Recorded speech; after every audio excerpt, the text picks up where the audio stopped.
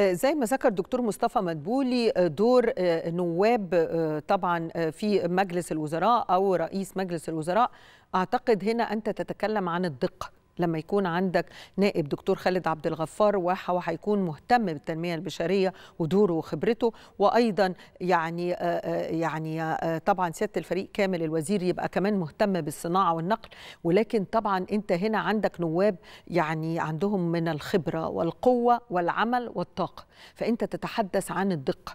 يعني يمكن هذه المناصب اللي تم استحداثها كمان هتدي دكتور مصطفى مدبولي إنه يبقى هو بيتابع في كل مكان وعنده يعني فريق عمل قوي جدا.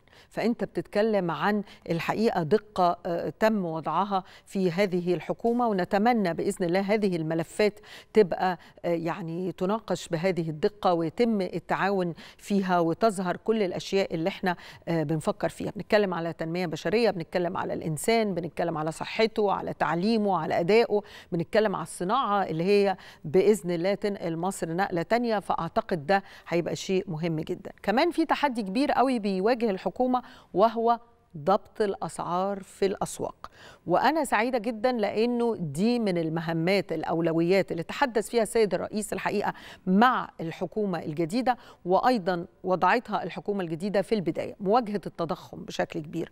وده طبعا شيء مهم جدا لأن المواطن في النهاية بيشعر بشكل مباشر بكل هذه الأشياء. فلما الحكومة هتهتم ويبقى عندك ضبط في الأسعار ويبقى عندك ضبط في كل شيء وفي انضباط بشكل كبير كلنا كمواطنين هنرجع ورا ونتنفس. فكرة السعر اللي هو موجود في كل مكان بحال وفكرة بعض العشوائيات اللي موجودة عند بعض التجار لما يبقى عندك ضبط وانضباط الدنيا هتتغير كتير وهيبقى المشهد بشكل كبير منضبط ويقدر المواطن يحس فعلا بوجود حكومة جديدة بضبط للأسعار وأيضا ضبط للسوق بشكل كبير. نتابع أيضا يعني مقطع آخر من كلمة آه رئيس مجلس الوزراء اليوم في المؤتمر الصحفي. نتابع مع حضراتكم.